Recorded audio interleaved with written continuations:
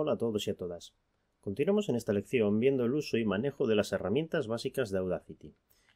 Abordaremos el uso de la herramienta envolvente, dibujo, ampliación, cambio de tempo y multiherramienta, todas ellas en la barra de herramientas básicas, así como las opciones de ajustar selección dentro de la barra de edición.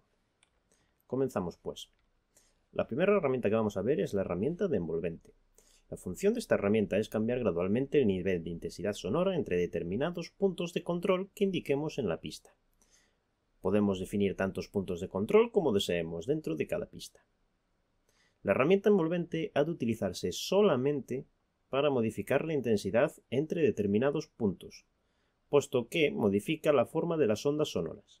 Si por el contrario lo que queremos es ampliar o reducir el volumen general de la pista, para ello debemos utilizar el control de ganancia de la pista, que nos permitirá regular la intensidad de sonora de toda la pista sin alterar la forma de sus ondas sonoras. Es decir, si no queremos alterar las ondas, utilizaremos este control de ganancia y si queremos alterar las ondas sonoras es cuando utilizaremos nuestra herramienta de envolvente. Tan pronto seleccionemos la herramienta de envolvente, veremos que cambia el fondo de nuestra pista de audio, apareciendo una línea azul en los bordes, superior e inferior, y dos zonas sombreadas, una en gris oscuro y otra en gris claro.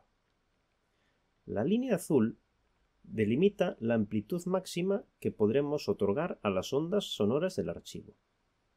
La amplitud de las ondas sonoras siempre va a ser proporcional a la intensidad del volumen, es decir, cuanto más amplias sean las ondas, más volumen tendremos y cuanto más pequeñitas sean las ondas, más bajo será el, volumen resultante. Una vez sabiendo esto, el funcionamiento de la herramienta es bastante sencillo. Por lo general, simplemente tenemos que pinchar sobre un punto donde queremos iniciar nuestra edición. Por ejemplo, aquí. Y un punto donde queremos finalizar nuestra edición. Por ejemplo, aquí. Después iremos añadiendo por el medio tantos puntos de control como cambios de intensidad sean necesarios. Por ejemplo, queremos disminuir el volumen de toda esta sección y vamos a poner aquí un punto hacia abajo, otro hacia abajo, otro hacia abajo, otro hacia abajo y otro hacia abajo. Y aquí haremos que se recupere.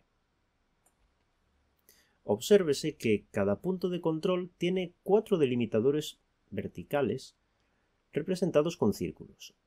Un círculo, dos círculos, tres círculos y cuatro círculos.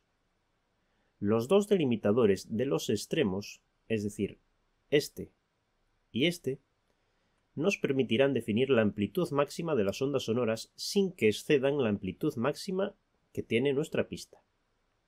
Es decir, por ejemplo, si pincho en estos dos delimitadores, puedo estirarlo o reducirlo sin sobrepasar nunca el límite de nuestra pista, porque llegará este punto y no nos dejará continuar estirando hacia arriba. Sin embargo, si lo que estiramos son los puntos intermedios, voy a coger este por ejemplo, sí que podemos pasarnos del límite de amplitud que nos permite nuestra pista. Entonces, en caso de que subamos demasiado y sobrepasemos dicho límite, veremos que la línea azul pasará de ser continua a discontinua. Esto quiere decir que estamos excediendo el límite máximo de amplitud de nuestra pista y es posible, dependiendo del nivel de volumen que tenga nuestra pista, que el volumen resultante quede con un poco de distorsión. Otra forma que tenemos de calcular mejor, eh, digamos que la intensidad sonora con la que estemos jugando es cambiar la escala.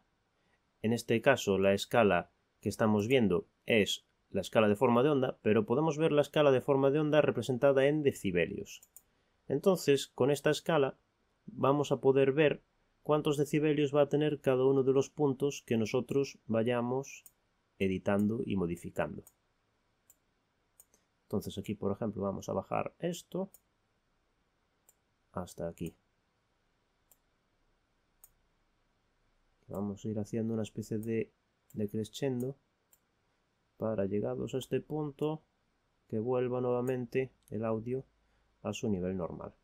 Entonces, si ponemos el cursor y reproducimos, veremos el resultado.